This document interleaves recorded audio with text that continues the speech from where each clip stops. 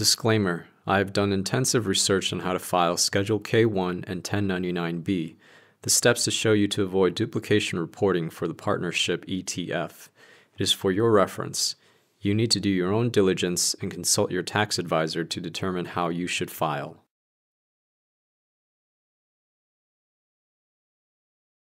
When you purchase partnership ETF, brokers 1099B will report gain or loss of your investment, included in total amounts.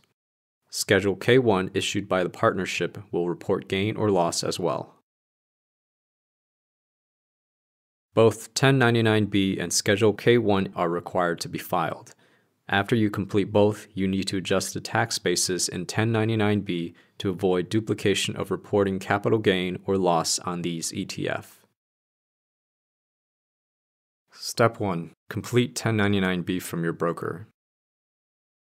In 1099B, there are total amounts of proceeds, cost, wash, sale, loss disallowed. All these amounts need to be reported exactly.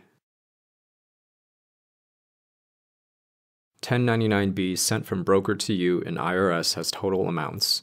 These total amounts include partnership ETF gain or loss, Worksheet 8949 sent from broker is detailed report supporting 1099B. 8949 is very helpful when you file the return.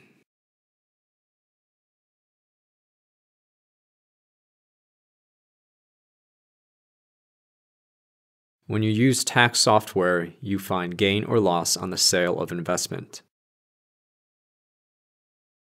This is how to file. Find box A total line in 8949.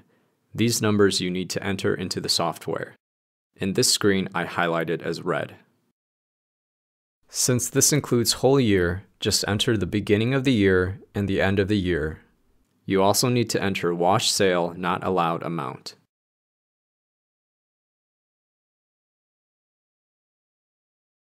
Find box B total line in 8949.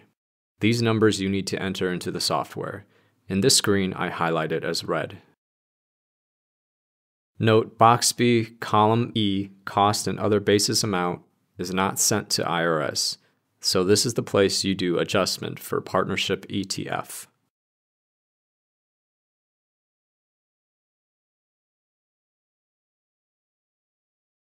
$8,100 box B total is what I used to illustrate the calculation throughout this video. After you completed all boxes in 8949, you reported gain or loss for your investment for partnership ETF at this step. Step 2. Complete Schedule K1 issued from the partnership.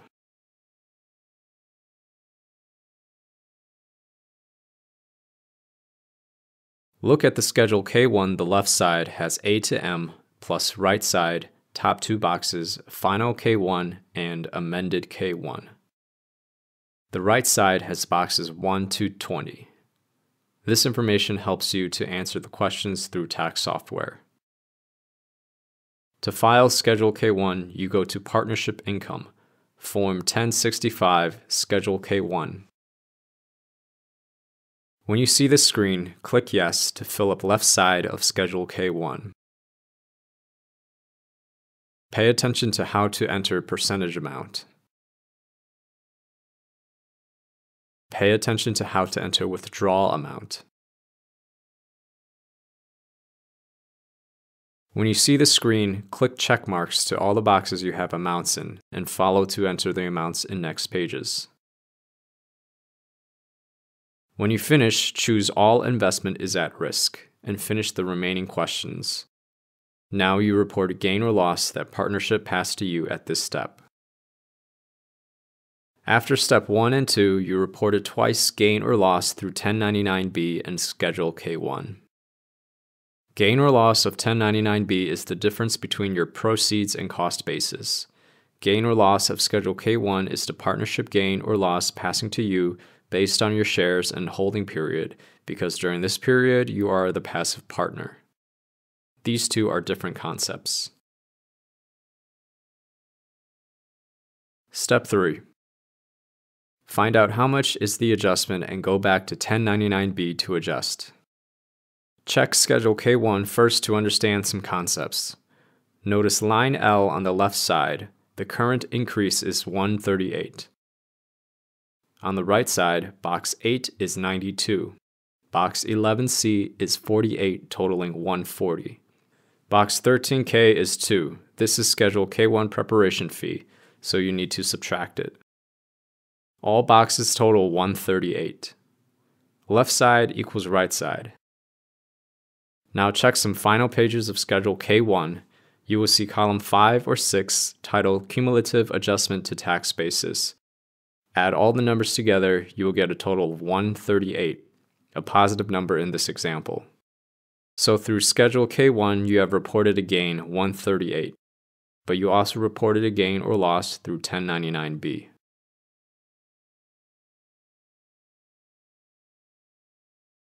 In our example, we have cost basis 8100 for box B from 8949. Schedule K1 tax basis is positive 138, so we need to increase cost basis to take out duplicate gain in 1099B. New cost 8100 plus 138 equals 8238.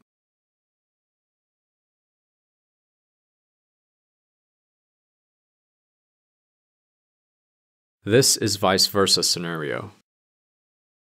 If Schedule K1, cumulative adjustment to tax basis total is negative, a loss, you add the amount back to 1099B. In our example, you need to change 8100 cost basis to 7962 to avoid duplicated loss.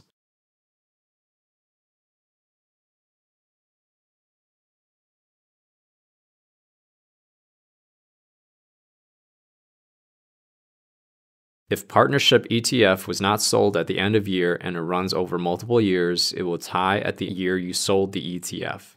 Difference will carry over to next year. You just use tax basis amount to do the adjustment.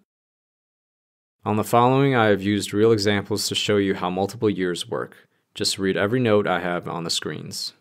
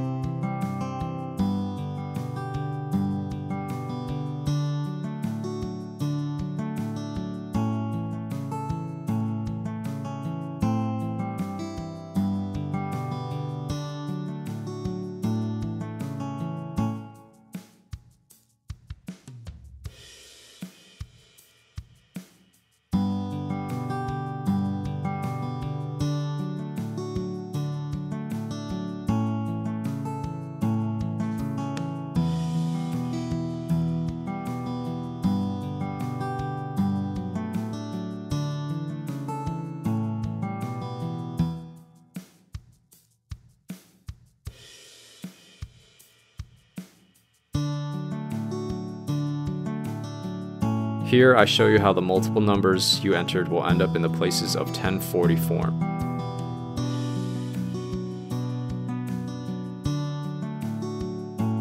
If you want to avoid Schedule K1, you need to know which ETF has partnership in nature. If you Google list of ETFs that issue K1, you will see quite a long list. Just to name a few popular partnership nature ETFs that will issue Schedule K1.